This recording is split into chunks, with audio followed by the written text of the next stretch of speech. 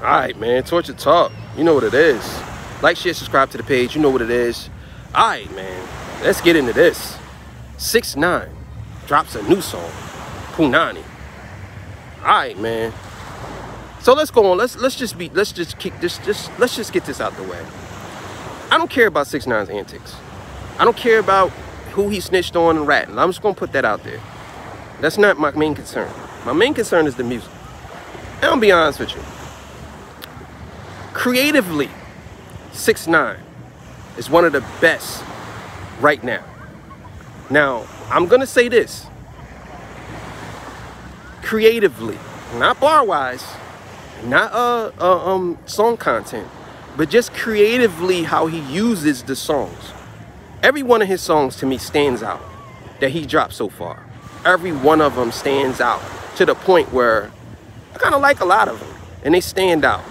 Now, is he spitting bars? No. Is he is he does he have crazy content? No. But the thing that I can say that every one of these songs doesn't sound like any other song that's out. I like what he's doing. You know what I'm saying? I think that 6 9 should keep going with what he's doing. I think that um, the whole antics and, and, and all that stuff, that's a part of him, whatever. I don't care for that. You know what I'm saying? I'm not into, I'm not here to review his life story. I'm here to review the music. So I'm not gonna speak on the whole everything he did. So from now on, from here on out, you're not gonna hear me talk about that. I'm not gonna talk about that. You know what I'm saying? You're not gonna hear me say anything about that. But I'm gonna get into it. All right, so there's only one song, Punani. You know, he proving a point or making a point. He's riding around, riding around New York City, calling everybody pussies, in a basically in a way. You know what I'm saying?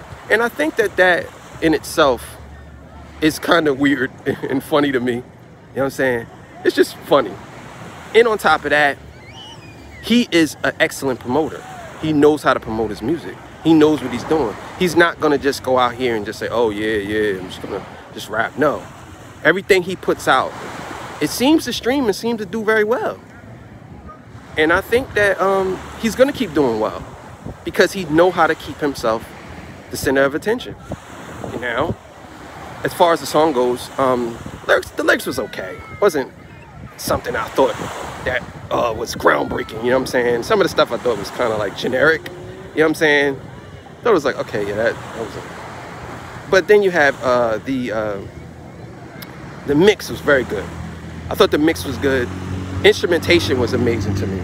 I think that his instrumentation um, in his last couple of songs is who's ever doing this production. They really they really working this right now. He has a lot of songs, and if this is gonna be his album, there's a lot of bangers on this album. Like every one of them songs, I would say, can probably be played somewhere and people would fuck with it. If Six Nine didn't have a lot of stuff looming over his head, he clearly would be one of the biggest artists out right now, which it, which he is right now, but he has a lot of bullshit over his head. So I gave this song a, a, a strong seven, uh, pushing up to an eight. Um, I liked it. I liked uh, what he's doing. I think Six Nine is a, a creative monster, and I think that he has a creative mind when it comes to music.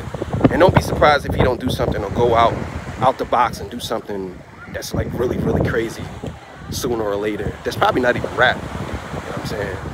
So, 6 9 Tell me what y'all think about the song. Like, share, subscribe to the page. You know what it is. Torture Talk.